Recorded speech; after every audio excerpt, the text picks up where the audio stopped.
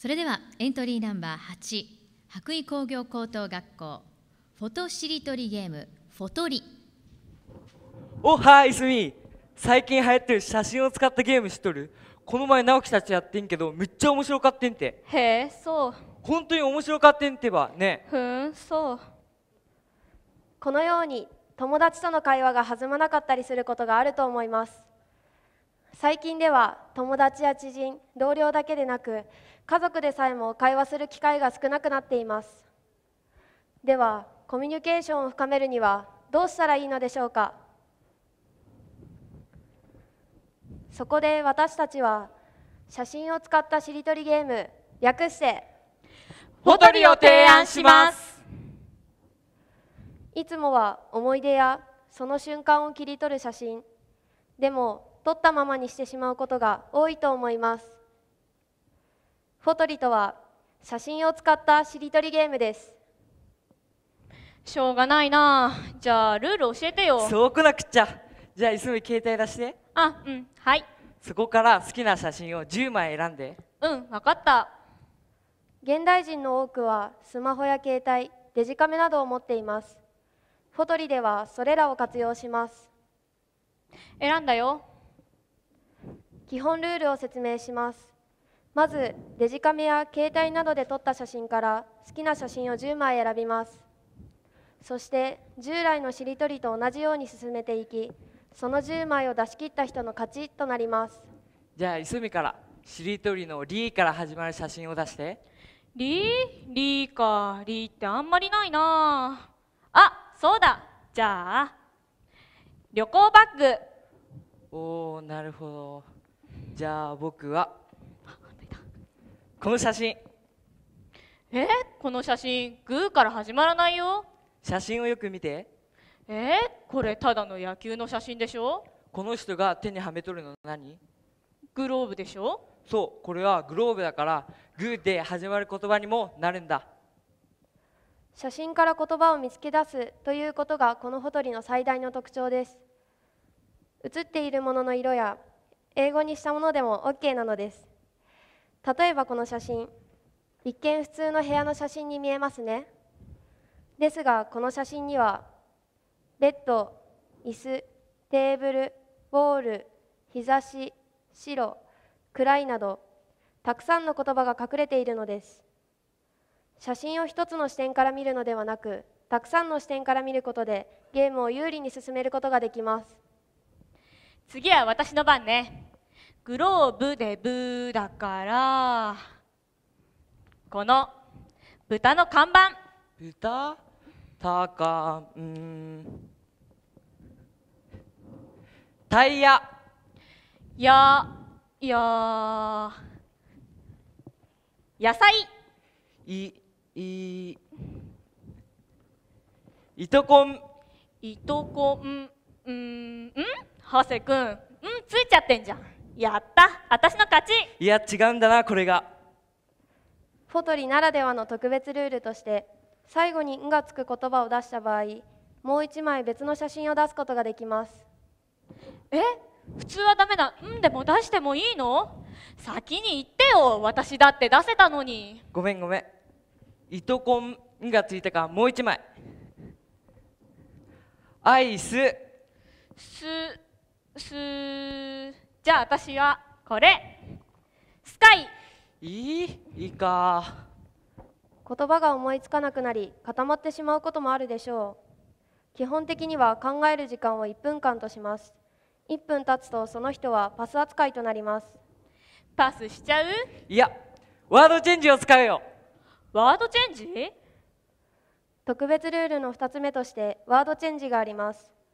ワードチェンジとは相手が出した言葉を一度だけその写真の中にある別の言葉に変えることができるというものです。この写真はスカイだけどここに雲があるから雲にワードチェンジ。そしてモップ。ププああったプラスチックこのようにフォトリならではの特別ルールを使うことによって最初に始めた人が有利になることはありません。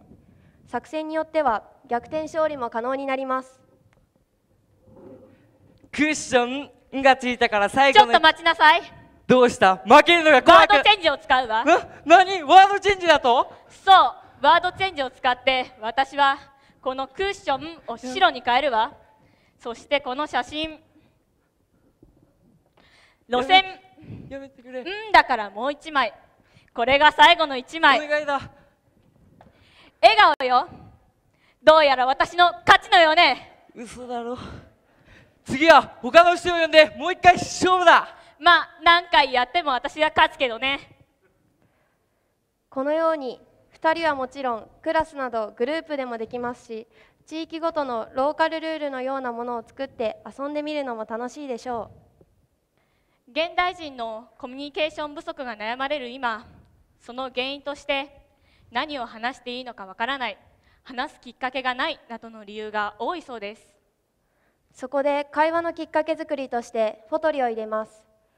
フォトリとはいわゆるしりとり遊びのためコミュニケーションの基本である言葉を伝えるということをクリアしています。なおかつ写真を見せ合うことで常に新しい話題を提起し1対1はもちろん大人数でも楽しく会話することができます。写真思い出会話人と人とをつなぐ新しいコミュニケーションのツールとしてこのホトリを活用してみるのもいいのではないでしょうか。実際にフォトリを遊んでみた人からは少し難しかったけど楽しかった。もう一度やってみたいという意見が多かったです僕たち自身このホトリでとても白熱したので皆さんもぜひ遊んでみてください。これで僕たちのプレゼンテーションを終わります。礼ありがとうございました。たありがとうございました。それでは質疑応答に移らせていただきます。先生方いかがでしょうか、はい、中山先生お願いします。あの面白かったです。あのね、と別にこんなことで会話のきっかけにしなくても僕が面白いと思ったのはなんかよく最近デジカメになるともう取り飛ばすっていうかたくさん撮るけど振り返って見ることがない写真をこのゲームにするために一生懸命見るっていう写真ってたくさん情報量があるものなのであのそれを見る振り返るっていうのが面白いなと思いました。だから手札最初の10枚が勝負じゃないですか、その辺が面白いなっていうふうに思ったんでもっとなんかゲームとして楽しいっていうふうに売ってった方が言った方がいいかな。ここれで会話が弾むじゃなくて。